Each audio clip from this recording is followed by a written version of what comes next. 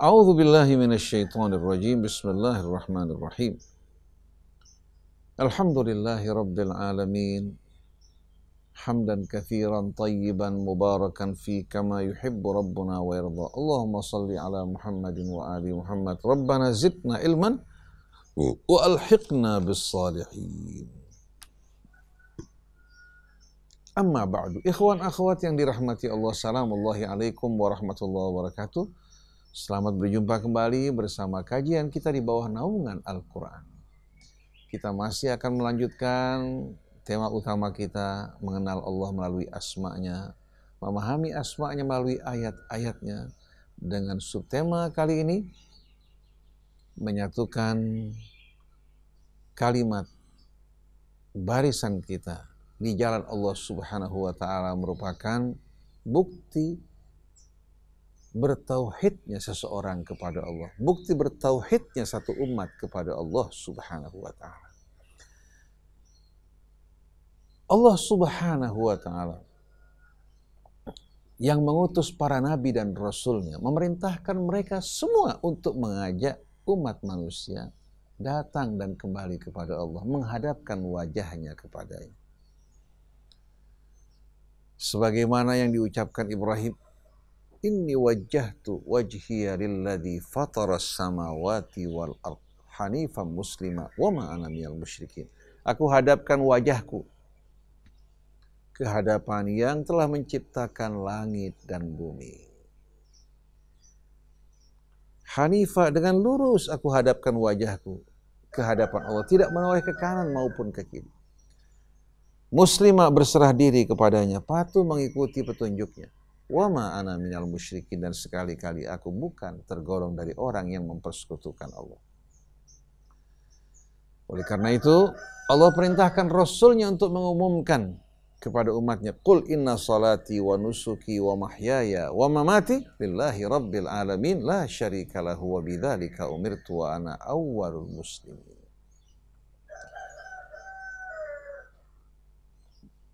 mentauhidkan Allah dalam ibadah kita. Menuntut dari kita untuk menyatukan kalimat kita, menyatukan hati kita, barisan kita di jalan Allah Subhanahu wa taala. Oleh karena itu, Rasulullah diperintahkan untuk menyeru pada ahli kitab. Bukan hanya menyeru umatnya, menyeru para ahli kitab. Dalam surah Al-Imran, Allah Subhanahu wa taala berfirman pada ayat 64. Qul ya ahlal kitab. Ta'alau ila kalimatin sawain bainana wa bainakum.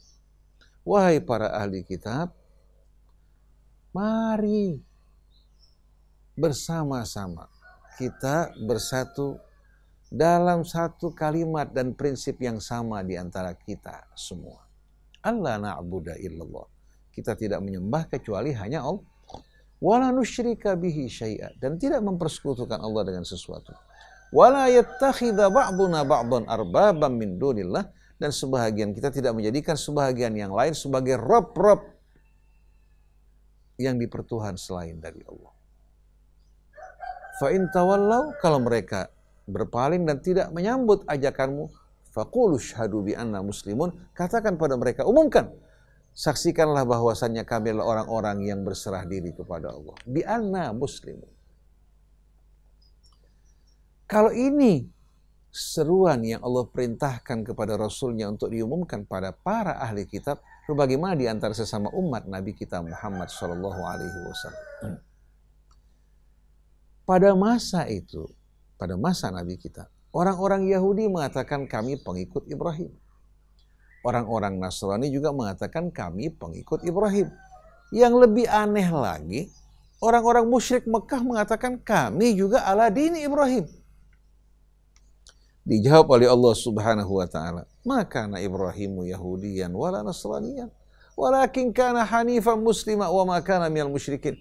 Ibrahim bukan seorang Yahudi, seorang Nasrani, ya. tapi dia seorang yang betul-betul berserah diri kepada Allah menyembahnya dengan lurus dan murni dan dia tidak tergolong dari orang-orang musyrik. Lalu setelah itu Allah Subhanahu wa taala mengatakan inna aulan nasi bi Ibrahim. Orang yang paling patut mengaku sebagai pengikut Ibrahim yang sebenarnya lalladzina taba'u, orang yang benar-benar mengikutinya. Wahadan nabi dan nabi kita Muhammad sallallahu alaihi wasallam adalah pengikutnya. Walladzina amanu dan orang yang beriman kepadanya. Wallahu waliyul mu'minin.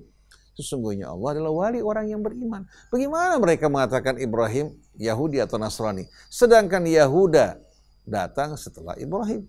Karena Yahudi adalah anak dari Yakub. Begitu pula agama Nasrani yang dibawa oleh Al-Masih datang jauh setelah wafatnya Ibrahim. Maka barang siapa yang ingin mengaku sebagai pengikut Ibrahim, Ibrahim seorang yang berserah diri kepada Allah, mengabdi kepada Allah dengan murni. Nah siapa-siapa yang berjalan di jalan ini, dialah pengikut Ibrahim yang sebenarnya. Nah sekarang juga sama. Ahlus sunnah mengatakan kami orang-orang yang mengikuti Rasul. Padahal di ahlus sunnah terdapat kelompok-kelompok yang bertikai. Syiah juga melakukan hal yang sama. Maka kita mengatakan maka na Muhammadun sallallahu alaihi wasallam sunnian wala syi'iyan wala salafiyan wala sufiyan wala mu'taziriyan wala maturidiyan walakin kana hanifan muslima wa ma kana minal musyrikin. Nabi Muhammad bukan Syi'i, bukan Sunni, bukan Salafi, bukan Sufi, bukan Mu'tazila, bukan juga Maturidi, bukan juga Ash'ari, tapi dia seorang muslim yang berserah diri kepada Allah dengan lurus dan mengajak kita semua untuk kembali pada Allah. Nah, siapa yang mengaku sebagai pengikut Nabi Muhammad? Mari bersama-sama Tanggalkan pakaian-pakaian kelompok fanatisme bergolongan bersatu dalam Islam. Faqulu syhadu bi anna muslimun. Kalau kita lakukan hal ini, insya Allah kita akan masuk dalam golongan orang-orang yang dirahmati Allah Subhanahu wa Ta'ala. Tapi syaitan tidak berdiam, dia berupaya untuk menggoyang berupaya untuk menggoyahkan keyakinan kita, memecah belah kita, mencerai beraikan kita, hingga akhirnya kita membela kebatilan dan memberikan dalih-dalih kebenaran. Kita menentang kebenaran dengan berbagai macam alasan. Akhirnya kita dijerumuskan dalam pengikut syaitan oleh hawa nafsu kita. Ini yang mesti kita waspadai. Oleh karena itu, Berbahagia sekali seandainya kita diterima oleh Allah Subhanahu wa taala sebagai seorang muslim. Bukan dengan identitas yang lain, tapi sebagai seorang muslim dan mukmin. Kita bersama keluarga kita, masyarakat kita yang bersama kita diakui oleh Allah sebagai muslimun. Ini merupakan kebahagiaan, kehormatan buat kita. Oleh karena itu, saya tidak ingin dikatakan sunni atau syi'i. Karena Sunni dan sunnah telah berbeda. Sunnah Rasul mengajak kita bersatu dalam agama Allah. Tapi sunni, kata sunni, justru apa? Mencerminkan pertentangan, perselisihan antara pengikut salafinya, antara pengikut asyarinya, antara pengikut ininya, pengikut itunya. Kalau sunnahnya, fabiha wa nikmat. Tapi sunnah Rasul yang sebenarnya mengajak kita bersatu. Begitu pula kata syiah, pengikut keluarga Rasul, dalam kalangan Syiah terdapat kalangan gulat yang melampaui batas. Bagaimana kita akan masuk dalam kelompok ini?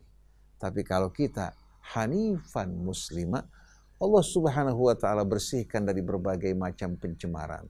Maka dari kalangan ahlus sunnah yang mengikuti sunnah Rasul yang sebenarnya. Dari kalangan syiah mengikuti keluarga Rasul yang sebenarnya. Semua akan disatukan dalam Islam semua akan disatukan dalam keikhlasan kepada Allah sebagaimana para sahabat Rasul keluarga Rasul bersatu semuanya mengajak umat untuk kembali pada Allah dan mereka bisa meredam perselisihan perbedaan pendapat mereka. Kalau perbedaan pendapat tidak mungkin akan berakhir sampai dunia di kiamat. Pada Rasul, pada masa Rasul, pada masa sahabat terjadi hal tersebut, apalagi saat ini. Tapi mereka yang beriman meredam perbedaan mereka semua memobilisasi kekuatan mereka, persatuan mereka di jalan Allah Subhanahu wa taala. Bukan mengajak orang untuk berkelompok-kelompok melemahkan kekuatan umat Islam, tapi mereka meredam perbedaan pertentangan di antara mereka. Mereka betul-betul mengabdikan diri mereka dengan murni untuk Allah Subhanahu wa taala. Demikianlah ikhwan akhwat kajian renungan kita pada pagi hari ini. Insya Allah kita akan lanjutkan kembali masih dalam subtema yang sama. Pesan-pesan persatuan yang terdapat dalam Al-Quran yang semua ini merupakan manifestasi dari tauhid kepada Allah. Mudah-mudahan Allah menjadikan kita sebagai umat tauhid dan satukan kita bersama nabi kita dan umat-umat nabi sebelumnya yang bersatu semua dalam firman Allah inna hadhihi ummatukum ummatan wahidatan wa ana rabbukum fattaqun. Subhanakallahumma wa bihamdik asyhadu an la ilaha illa anta astaghfiruka wa atubu ilaik. Wal afu minkum wassalamu alaikum warahmatullahi wabarakatuh